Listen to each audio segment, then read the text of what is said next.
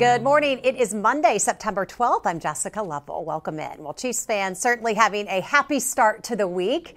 And as we come fresh out of the weekend, Dr. Dana Hawkinson is going to join us this morning with the latest COVID 19 numbers.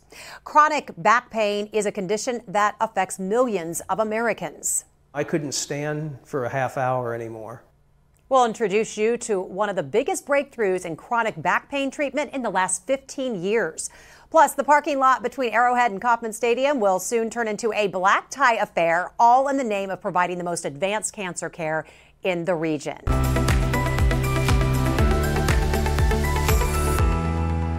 Thank you for joining us here on Facebook, YouTube, and on Twitter this morning. We are live inside the Dolph C. Simons Jr. Family Broadcast Studio. Ron Verlin, the much needed back pain to deal with his uh, back pain issues, the treatment came in something called ReActiv8. We're going to share Ron's story and show you how it works. Ron's doctor is here with us in studio, Dr. Dawood Sayed, Chief Division Chief of Pain Medicine at the Health System and Vice Chairman of the Board at the American Society of Pain and Neuroscience. So he knows his stuff. Good morning. How are you? Good morning, Jessica. Good. Thanks Did you have a good weekend? Me. Yeah, it was great. Okay. We were just talking about, you know, good Chiefs game, and uh, our Jayhawk football team did really well too. So. Yeah, so it's a happy Monday. And great weather. So. Absolutely, fall is here. Well, as always, please send in your questions using your chat thread or your email. The links to all of those are right there on your screen. 65 million Americans say they have suffered some sort of back pain over the last year. That's according to the Health Policy Institute. In fact, back pain is the sixth most costly condition in the United States, including the price of time away from work. Finding effective pain relief without drugs is always the goal. And as Bob Hallinan shows us, Ron Verlin is, has now found it. Ron Verlin likes to relax by plucking out some tunes on his bass guitar. He doesn't even need an amp. But back in the day, he sounded more like this.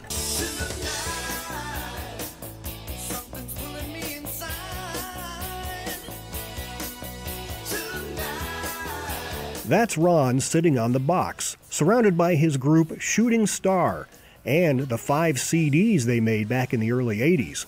What started as the ultimate garage band in Overland Park with some high school friends turned into a full blown music career. It took them from sock hops and frat parties around town to touring the U.S. and Europe. We ended up getting to go to London again and record our first album with Gus Dudgeon, who was Elton John's producer. Ron eventually left the band for a more traditional career in finance. He retired three years ago but a condition called spinal stenosis was keeping him from fully enjoying life. I couldn't stand for a half hour anymore. It was altering my lifestyle some. The often excruciating back pain even kept him from taking walks. That's when he found out about a new device called ReActiv8 from his doctor at the University of Kansas Health System. The device is implanted near the spine with a couple of wires on either side. Ron just pushes a few buttons on a remote holds it to his back, and the pain relief begins. It's like a little massage kind of feeling. It's electrical, but it doesn't hurt. He says life is so much better now, he's even able to take long walks again.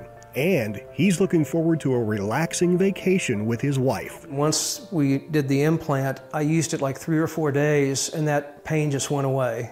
And it's never come back again. Dr. Sayed working on our local rock star right? Yeah, I love I love seeing these stories because I learned stuff about my patients that I didn't know. I had right. no I had no idea. I knew that he was into music, but I didn't know that he had you know quite a decorated music. Yeah, right. See, learning CDs and touring and all these types. Yeah, of learning right along along with us this morning. So, how's Ron doing today as a patient? Yeah, uh, I think his music career is kind of on the on the downside, but as a patient for his back, he's doing you know wonderfully.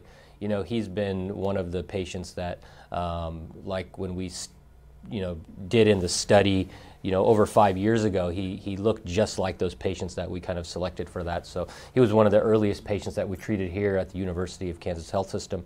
Uh, and he's about a year out now since from the therapy, and he's almost essentially pain-free from his back pain. I think he, you know, he, he reports anywhere from 80 to 90 percent reduction in his pain for no no pun intended, like music to his ears, like in real life, right? Absolutely, absolutely, no pain. absolutely. You know, he's he's really not talking about his back a- anymore, really. So um, so it's really kind of what we we want people to do. We want people to really, you know, get to the point where their issues with the dysfunction in their back is really not, you know, anything that they really think about anymore. That's really how Ron is.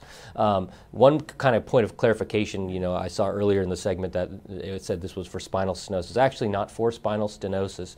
This device that Ron had, and we have a lot of great therapies for spinal stenosis, just does, does not happen to be one of them, um, is for, you know, dysfunction of the main stabilizer of the back. That muscle is called the multifidus muscle. And most people, this is the muscle that when you go to physical therapy, when you have back issues, this is the muscle that the physical therapist is trying to get to start working normally again. This is where usually where the, all the problems start. Patients potentially may have had an injury to their back or a degenerative disc, and then this muscle starts to work in a abnormal fashion. And it's the main way that stabilizes your spine. So over time, as that muscle's not working properly, uh, these patients can have, you know, debilitating pain because of the instability. So what we do with the device that Ron had is that we actually kind of hijack that system that's kind of gone haywire, uh, and we actually implant these small electrodes on the uh, nerve that goes to that muscle in the lower back, that multifidus muscle, and it actually restores that muscle and gets it to work uh, in a proper fashion. So these patients get, you know,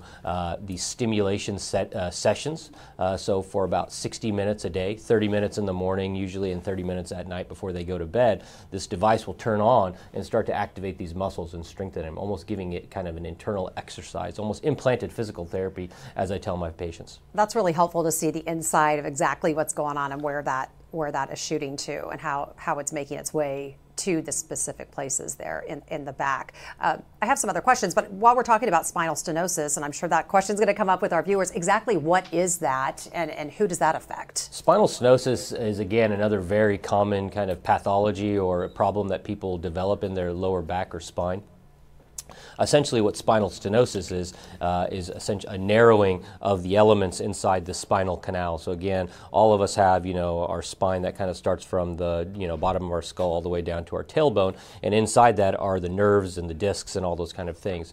In certain people, uh, if that internal canal uh, starts to narrow, uh, and, and, get smaller and put a pinch on the nerves in the lower mm-hmm. back, they develop something called spinal stenosis. And typically, patients with that type of uh, issue will have, you know, achiness and pain in their lower back and legs when they try to walk or ambulate or stand. And typically, those symptoms will kind of go away if they're kind of sitting there. Uh, but you know, for for this uh, device in particular, uh, it's really not for spinal stenosis. Some patients can have some spinal stenosis and benefit from this, but this is really not the typical indication for it. So we saw Ron in the video just hitting a button like a remote control. Tell us exactly what's happening every time he touches that button. Yeah, so after the patients are implanted with a small kind of micro device that's kind of done on an outpatient basis, they'll go home with the device and it's all programmed for them. So again, we tell them to find kind of a you know a quiet area, area where they can kind of uh, rest comfortably, usually on their bed, uh, and they'll initiate a session. And what this session does is kind of almost like patients will describe it kind of as like a small little back massage, mm-hmm. um, as, as, what the patient really feels. But what actually is what's happening is that uh, those little electrode, that device is actually activating that muscle in the lower back mm-hmm. and, and, and pulsing it pulsing it over 30 minutes. Uh, and it's just like any muscle you can, uh, you know, exercise. You know, think about when you're doing um, push-ups or something like that.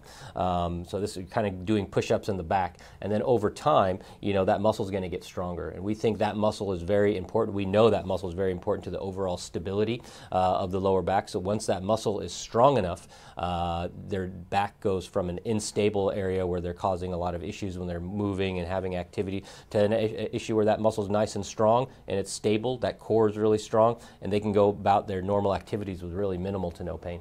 So it's not, in, they have to go somewhere and sit down and do it like a treatment. It's, it's like a, a 30 treatment. minute treatment. But I was thinking you wouldn't feel it, but you actually do feel some sort of movement in there. Yeah, Something's happening. Yeah, people know it's on, you mm-hmm. know, you know, and uh, so part of it is, you know, trying to figure out what's that comfortable spot over the first few months as well, too. You know, patients will come back and say, wow, I kind of feel it too much. That's, that's pretty, that's, it's pretty intense. So we'll, we'll have to go in there, recalibrate the device and make sure it's at a point where, you know, it's just kind of, uh, it should be more of a, uh, pleasant kind of experience for them. It shouldn't be irritating. If it's kind of they come back and say that's pretty it's pretty intense, and it's again I can make a analogy to like a massage. You go in for a massage and you're just pushing on it too hard. You know, there's that sweet spot that we Oh, try yeah. to find for them where it's you know it's the good amount of pressure, uh, so they kind of find that sweet spot over. Usually, it doesn't take very long to find that the calibration of the device is really straightforward. We do it here in the office, um, just kind of with a little external programmer that kind of communicates with it, kind of like through a, a, a Palm Pilot. Wow, that's really or a or, Palm you know, or Pilot. Palm Pilot. That's going or- back a few years. I saw the CDs. Now I'm like going back in time. Right. Um, uh, but like through a tablet or something like that. So uh, it's all wireless and uh, really easy to do. All right, I want to share a quote with you. Um, there's uh, this comes from a doctor out of Jefferson City. He is a spinal surgeon, and this is what he had to say about the ReActiv8 treatment. He says there's a big obvious emphasis on the opioid epidemic. So we know that those medications are harmful and they're actually relatively in- ineffective anyway. And so this is the first of its kind technology to be able to treat those patients. Do you agree? Yeah, I mean, I totally. We all know that the opioid epidemic has been something that's been essentially uh, a catastrophic thing for you know our country and even across the world. Now we're seeing you know uh, the rising uh, levels of opioid overdoses and s- people kind of transitioning from the opioids that they were able to get you know in their doctor's office and you know now that that spigot's been kind of turned off. You know, we all know it in the medical community is probably not the best thing to do. Unfortunately, some of these patients have become addicted or dependent. They've gone to the streets uh, for opioids, and now we see the illicit overdose uh, deaths, you know, continuing to rise and kind of stay at a pretty high level. It's pretty scary for all of us to see. So, why we think you know this device is really important to kind of combat the opioid epidemic is that you know this is kind of not like an issue. You know, the first disease we talked about a little bit, spinal stenosis. Oftentimes, there's a surgery or a fix for that. Uh, for this type of issue, you know, when your muscles are just not working properly, you can go to the best spine surgeon at, at the University of Kansas or New York City or whatever. When they see this problem, most of our colleagues in spine will say, you know, there's really not an operation for this. Your muscles just need to be stronger. And, you know, patients will try physical therapy. For some people, it's just the problem is too far gone. You know, Yeah. uh, they've had too much, you know, too many years of back pain. That physical therapy that they've tried it, it doesn't work. So this is a nice option for patients that have really been told that there's really nothing else that they can do for their uh, for their back issues besides you know exercise. Uh, and we know when people are at a pretty high level of pain and disability and dysfunction, exercise and physical therapy can only get them so far. So this is really a nice option. Unfortunately, what's happened, you know, patients in the past where they've been told, you know, there's no fix for this. Really, the only thing you can do is manage your pain. They get a prescription for pain medications. That's a problem. So we That's can a- we, can- we can we can offer them something different. Have you been able to get people off? I mean, have you seen these successful stories where somebody came with a, an addiction that wanted help to get off of this? Yeah, you know, I, and I don't think Ron really fit this bill. He Right. wasn't really on a lot of pain medications to start with. He was one of those kind of stoic guys that was just Mm-hmm. taking over the counters and things like that. But yeah, the great majority of patients that you know we implant with this type of device are going to reduce their me- pain medication usage significantly, if not completely eliminate them. So you know, again, it just depends kind of what's the deal, what's their issue for their pain. If their pain and why they're on pain medication is for their lower back, when you can reduce their pain uh, in their lower back by you know 70 to 80 to 90 percent, that's the difference between you know having to take something like a powerful opioid for your pain to just maybe taking a Tylenol once or twice a week, which is you know reasonable for most people. I love what you said about Ron when you said he just doesn't talk about his back pain anymore. Because I would imagine for your patients, this just rules their life. This is what they wake up talking about, what they talk about all day, and go to bed with it and wake up again. So ni- nice to hear. I want to talk to you about the maker of ReActiv8 System. It's called Mainstay Medical Holdings, and they released some data two years ago. It found that 71% of people who got the ReActiv8 implant reduced their back pain by more than 50% after two years. And when it came to reducing or quitting opioid use, ReActiv8 appeared to have a huge impact after those two years, with about 60% of those ReActiv8 patients feeling the uh, feeling the difference. And you know, just kind of reiterate: Are you seeing those similar results? Yeah, I mean, I think the nice thing with this therapy is that you know uh, we were actually one of the clinical sites in that trial, so it was a kind of a international clinical study with over 30 sites. You know, in one of the largest studies for you know lower back pain in, in using this device that, that had ever been done, uh, and it was a really highly you know rigorous you know scientific study where patients actually got the device uh, and half of the patients actually got the device in a placebo mode, and the other half got the device how it's actually supposed to be uh, d- delivering the therapy. So, you know, in a clinical study, we can kind of do those types of things to yeah. really actually see how effective it is, because we know sometimes, you know, there is a placebo response, and you know, anything you do, you can give someone kind of a, a sugar pill or something like that, you can sometimes see an effect. Uh, so, in a clinical study, when you actually kind of put in uh, the device in two populations of patients and actually don't really turn it on in one side and actually turn it on, you can see what the actual effect is. So that's why those results were really exciting when we saw that on the initial uh, initial follow-up. You know that these patients were really responding very well. Uh, you know we've been able to kind of track these patients now out to five years, and we see that uh, the the interesting thing about this, you know, a lot of the things that we do when we treat patients with pain, uh, they work really well sometimes at first, and then there's kind of a waning effect. You know, maybe it doesn't work as well after two or three or four or five years, just because the problems may be getting worse, the patient's getting a little bit older. Mm-hmm. But with this uh, clinical study, it's kind of first time I've seen in my career where the actual uh, results in the patients has actually improved every year we've looked at the patient set. So they actually this two-year data, the three-year data is re- re- going to be recent, uh, being is, is in the process of being published uh, in the next few weeks. Actually, the patients are doing even better. You know, they're about 10 to 15 percent better, and we think part of that is because of the way this therapy works is actually not just uh, you know okay kind of a palliative treatment where it's just taking pain away. It's actually getting the patients better. It's getting that muscle stronger. So over time, just like with any muscle, when you exercise, when you get on your, your, your treadmill, if you you know use it consistently, you get faster, you get better at it. So the same thing with this, that muscle continues to get better, stronger. Uh, so these patients actually are doing better over time, so which not, is nice to see. Not just throwing a band-aid over it. Exactly. We are getting some great community questions. We are going to get to those in just a moment, but let's get with uh, Dr. Hawkinson. How are you this morning? are you you're happy with your sports over the weekend? Your KU? Chiefs? Yeah, yeah, absolutely. It was good. You good, know, good. Good win for the Jayhawks. They definitely need it. So. Good, good. All right. Yeah. Well, give us the COVID count. Yeah, well, right now we have 26 active infections in the hospital, uh, five in the ICU, three on the ventilator, 15 in that recovery period. Uh, we're going to deep dive into some of those uh, active infections and just look and see, and hopefully we can resolve some of their active flags because they may have been here a little bit. So we'll have better, uh, more up to date numbers tomorrow and the rest of the week as well. All right. Well, new overnight, the state of New York declared an emergency after finding more mm-hmm. spread of polio virus. So, how, you know, yeah. how when we hear something like that, feels far away, but is it possible it could come here to the mm-hmm. Midwest? Yeah, I absolutely think it does. I mean, this is certainly my opinion, but with all of the um, international travel and people coming in from all over the world, we know and understand that most of the world still uses the oral polio uh, vaccine, which can induce live replicating virus. I think if we looked for it in our uh, wastewater around the Midwest, I'm, I'm, sure we would find it. Again, that's just my opinion, but I think it is extremely important to continue to understand that because of this, it is so vitally important that you are up to date with your vaccinations and especially your children. And please talk with your pediatricians to get them up to date and get them vaccinated. Hawk, uh, a new study published in Time finds you can still get long COVID if you're vaccinated mm-hmm. or boosted. We know yeah. that the shots and booster, as you have said, help keep us out of the hospital and with severe disease. So, yeah. but we, we're still telling everyone get that shot, right?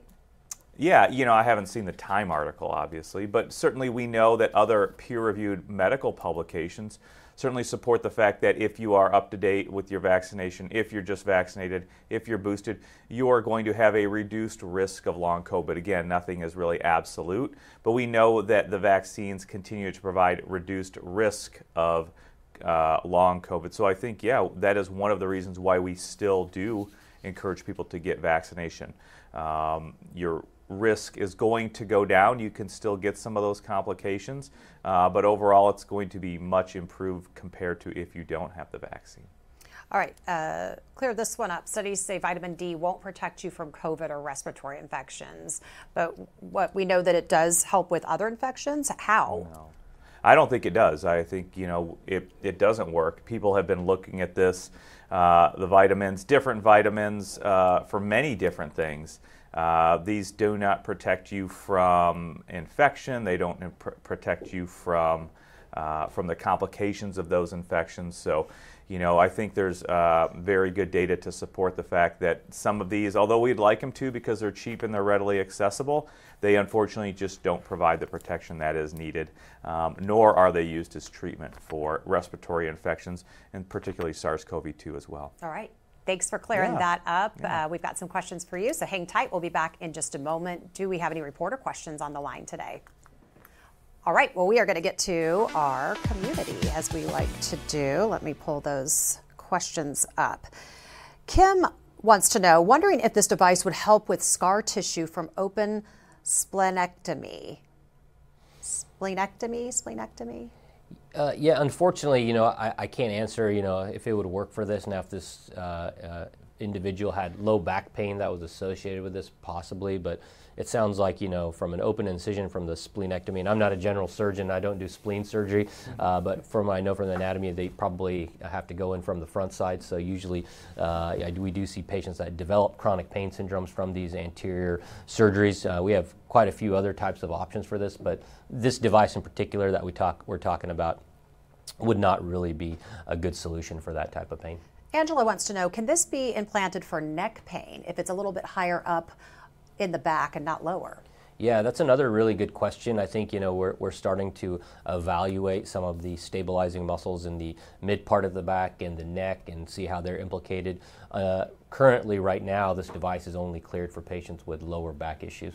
Okay, and uh, April wants to know she does suffer lower back pain, a little concerned about having something implanted. So, can you just help kind of paint that picture of what it looks like, where it is, how it feels? What is the process of actually getting it inside your body? Yeah, that's uh, that's a really you know important question for people. It's a little bit different than you know uh, having an injection or having uh, you know taking a, a medication. This is something that is a, a medical device similar to like a pacemaker. Would probably be the closest thing that people maybe have some familiarity with. Um, so again, there's uh, two parts to this system. The first part uh, are these small little electrodes or wires that are implanted act, uh, on the on the muscle or the nerve that innervates that in the lower back, and those are pretty low profile. They're really uh, maybe just a little bit thicker than dental floss, so most patients don't even realize that that part's in their body. The part that has a little bit more size to it is actually the part that powers those wires, and that's the the battery or the internal pulse generator is what we call it. And that's usually probably about the size of a credit card, maybe the size of about three credit cards stacked on top of each other. Uh, usually we find, you know, the layer kind of underneath the skin uh, in the subcutaneous tissues in the lower part of the back or in the side of part of the back, and we implant it in that area. Typically, patients won't really notice or realize that the implant's there. We usually can find a, a comfortable spot for, for most people. Uh, but there are some situations where, say, a patient's really, really thin, uh, where we have to kind of get a little bit creative on where we're going to put it. The technology on these devices continues to advance. So, you know, the first and you know, generations of these similar types of implants were a lot larger than the footprint of the devices that we're putting in now and I can kind of uh, confidently say that you know the devices coming you know uh, in the next one to three years will be even smaller potentially not even be implanted in the body maybe powered by an external source Doctor, who makes a good patient for this versus somebody who might just need an injection? And why would it work for someone like Ron and maybe not another patient of yours? Yeah, so um, that's probably the, the the trickiest part for patients to kind of try to figure out, and us as clinicians, who is the best candidate for this. What we found is, you know, uh, typically patients first of all have had to have, you know, tried, you know, conservative uh, therapies first. You know, so again, this is really not for someone with just a few months of back pain and they really haven't tried anything. So usually patients have had to have had uh, physical therapy, maybe tried injections and those types of things first, and not gotten the results they wanted. We know that where it doesn't work too from the clinical study. So when a patient does have, you know, say a herniated disc in their back, say they have more leg pain than back pain, mm-hmm. that's probably not a great candidate for this. Really, the patients that do the best for this are patients that have kind of degenerative changes in their lower back, and most of their pain is localized kind of in that lower back area. Answer this one for Mona. Can this help older people with scoliosis? Yeah, I mean, uh, it definitely can help, you know, patients uh, that have scoliosis. It's really not going to do anything for the scoliosis, but what we find is people that live with those types of conditions uh, for a long time, they can develop dysfunction in those back muscles. So uh, if the patient has, you know, no really, uh, you know, high grade, you know, narrowing or pinching of the nerves due to this, the scoliosis or the curvature, um, then potentially this this could be an option. Again, scoliosis, you know, uh, is is defined as you know abnormal curvature to the spine. So there are surgical solutions for that, depending on how severe it is. So we also have, you know, our, our orthopedic spine uh, surgery colleagues that are really good at addressing those types of issues as well. You mentioned earlier this is not for spinal stenosis, but Juan wants to know are there signs or symptoms of spinal stenosis that somebody should look out for? Yeah, you know, I think um, spinal stenosis is one of those uh, issues that if most people over the age of, you know, say 65 get an MRI, we're going to find a little bit of spinal stenosis. Spinal stenosis essentially just means a narrowing, and we all kind of start to develop some narrowing in their spine over time. Uh, so again, the symptoms of that will be much different than, you know, the patient that has this back dysfunction. So again, spinal stenosis will typically be characterized by a patient that gets worse when they walk or stand, and typically they're going to present with achiness and pain in the legs. That's going to be that's going to resolve when they sit back down. So that's really kind of the characteristics of uh, spinal stenosis. Another kind of characteristic sign uh, we, have termed is called the shopping cart sign. Mm-hmm. So if someone goes to the grocery store and the first thing they want to do is grab a shopping cart and lean on it and walk, uh, that's also kind of a characteristic sign of spinal stenosis. You know, I can go to the grocery store with my wife and say that patient has spinal stenosis, and so does that one because I can just see that they're leaning forward on that shopping cart to walk. And why what, why that is kind of something that you know we know happens is a patient not even maybe not be aware that when you bend forward and lean, you actually you you relieve the pinch in the spine. It opens up that canal, it opens up the dimension, so people can usually walk. Same way why people can walk better with a walker. Right. Uh, so that's one kind of sign. So if people say, hey, when I go to this uh, the grocery store, I just want that shopping cart and then I can walk forever. That's a symptom of spinal Yeah, you probably have to ask that sometimes. Hey, by the way, do you lean over when you're shopping? It's know? part of our questionnaire. Yeah, sure. right. Very technical. Uh, Yan Liang has a couple of questions. Um, how expensive is this? Yeah, How's I mean, it paid for? Sure. Um, you know, as far as you know the, the direct costs, you know there's the cost of the implant and the surgery and those types of things. Um, this is uh, FDA approved and covered by you know most health plans now. So uh, patients you know out-of-pocket costs are pretty minimal. You know it's covered uh, for our seniors in the Medicare program as well. So I, I, can't give you the exact dollar amount. I know that you know it's pretty much widely available for most patients. You know that have you know uh, health insurance and usually health insurance will cover it if they've met, met the medical criteria. I've got a couple more quick questions. Keith just jumped on. He says, Can this be used on patients who have had scoliosis surgery? You, you mentioned scoliosis earlier. Short answer for that? Probably not. Not. Okay. Yep. And again, uh, this is probably some, we're trying to. Um, do this type of procedure earlier on in the course of patient's care. So typically patients, you know, we really want them not to have had, you know, a major spine operation and those types of things as well because those muscles may have been stripped or removed during that surgery mm-hmm. and those are the muscles we're trying to restore. So oftentimes when patients have, you know, say, uh, you know, a lower back surgery, those muscles are kind of taken out to put in the hardware and the screws, et cetera. So you can't really restore muscles if they're not there. Kathy wants to know, is pain enough for a diagnosis or do you need a, some sort of test or x-ray? Yeah, that's a really, really good question. So pain is obviously what we're looking for. We're looking for patients with, you know, uh, significant lower back pain that in, inhibits their, you know, quality of life. But there are some things that we look for on the MRI.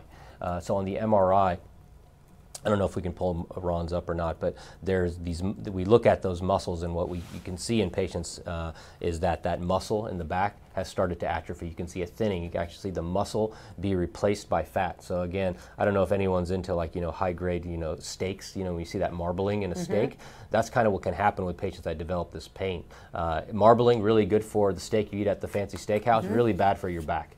Uh, again, you want it to be mostly muscle. So when patients, when we look at that MRI and we see a lot of marbling in that muscle, we see it being the muscle being replaced by fat. That's a sign. That's a that's a, a, a MRI finding of this multifidus atrophy. There's also some exam exam maneuvers, some things that we can pick up when we do a physical examination on the patient mm-hmm. uh, that also uh, show that they have dysfunction of those muscles. So usually a combination of you know their clinical history, what they've tried, what we see on the MRI. Do we see kind of that dysfunction or that you know that uh, that atrophy or weakening of that muscle on the MRI, and then some physical exam uh, findings. Those kind of uh, lead us to kind of say this is the right therapy for that patient. That's why we love you. You can always describe things so we can understand. You're talking about shopping carts and steak and layman's terms. You that's put what in I, layman's terms. That's what we love. Although okay. I did say Palm Pilot earlier. Though. You did. I got that too, sadly. Uh, okay. Last question though uh, from Yen Liang is: Do you have to try other procedures and treatments? Is it, do you have to be kind of in your worst case scenario to be able to have this treatment, or is this a first line of defense? I think this is something that we're going to probably be doing earlier on. So again, uh, you know, I've been on here we've talked about you know the conventional spinal cord stimulators. Uh, those are ones that we kind of implant in the spinal cord itself and not on the muscle. And those patients typically have all have tried everything. You know, they tried back surgery and they've had injections, they've been on medications, etc. This is something that we're probably going to do earlier on. So again, this is probably something that is done. You know, not before everything's been tried, but maybe a few things have been tried. Say the patient's had physical therapy uh, and they've done you know chiropractic care and those types of things, conservative things. Uh, then I think this is probably going to be in that middle zone. So not really at the end of the line, but maybe in the middle of the line, a little bit earlier in the we say the treatment algorithm for low back. Great stuff. Kathy, Joelle, and Jean, I'm going to promise you we will get to your COVID questions tomorrow. Dr. Hawkinson, you have my word. I'm going to ask you their great questions tomorrow because we're going to wrap up. Dr. Sayed, always great to have you on. Uh, final thoughts today. Uh, you know, I think uh, you know one of the reasons I wanted to do this this month is that September is uh, Pain Awareness Month. We know that you know over hundred million people in the United States alone suffer from you know severe chronic debilitating pain, and we also know from the numbers that you know over 50 to 60 percent of that is coming from the lower back. So you know there's so much new technology and uh, therapies available that you know I don't think people really need to think that this is you know uh, this is their destiny to kind of live in this chronic pain forever or have these back issues and this is just how it is. You know I think get uh, talk to your primary care doctor. Say hey can I see a spine specialist uh, to see if there's anything new and available. Maybe you went, you know, uh, a few years ago and all they offered you were injections. I can tell you that, you know, things change uh, really on a quarterly or a year-to-year basis. You know, we just got this great tool in our in our toolbox for these patients, you know, just a year ago. So I think continue to kind of, you know, not give up, or if you have a loved one that you just kind of see suffering. That's how Ron kind of came in. Ron actually uh, has a, a, spouse that works here in the health system, mm-hmm. and, and, she saw one of the, the stories that we did on it earlier on during the clinical study and, uh, and said, would we evaluate her husband? And I looked at, he came in and I was like, he's perfect for this, you know. So uh, you never know. So just continue to kind of uh, be a, good ambassadors for yourself and for your, your family members. Uh, and if you're a physician out there, your patients. You don't have to live in pain. Doc, thanks so much. Mm-hmm. Appreciate you. Dr. Hawkinson, yeah. final thoughts today. Yeah, I mean, hope everybody had a, a good start to the week uh, yesterday with the Chiefs win and um, it's an, it was a nice day. So hopefully everybody got out and was active as well, and we'll keep uh, you know a, a running tab on how we're doing with the infections. I think overall cases are going down. Remember, boosters uh, will be out soon. If you haven't had COVID-19 recently, it's it's good to go ahead and get your boosters. We will be getting our first doses at the uh, health system here probably on uh, September 14th. That's the plan, so we'll be ready at that point. Thanks so much. Treads and Threads is back and in person this weekend, but with a big change. It will be held in the parking lot between Arrowhead and Kauffman Stadium. The 20th annual Treads and Threads event to help raise money to support proton therapy gets underway Saturday night. In addition to some of the best food in KC, some cool cars, 100 healthcare workers will also get a chance to enjoy the night for all their work during the pandemic. Also returning is everyone's favorite entertainment, Emerald City Band. Hey everybody, it's Dino with the Emerald City. And I can't believe it, but this is the 20th anniversary for Treads and Threads. And you know, this calls for one huge celebration. And we are so pumped to be coming back to Kansas City live in person for what we consider our favorite gig of the year. And I can't wait to see you. I've met so many of you, so many friends. We're going to be at the Truman Sports Complex. Make sure you bring those comfortable shoes, get ready to party, because we are going to be celebrating with a purpose. Congratulations, by the way, on the success of great fundraising to create the new Proton Therapy Center and to help cancer patients at the University of Kansas Health System. Again, remember, September 17th, put it down in your book. I'm going to see you there. Emerald City, Treads and Threads. We are going to party with a purpose. I'll see you then. Those guys are always a good time. They make a, they make for a late night for those party goers for sure. Well, speaking of singers, one of our very own breast cancer experts is belting it out and sharing her voice for a cause she is very passionate about. Oh, say does that star-spangled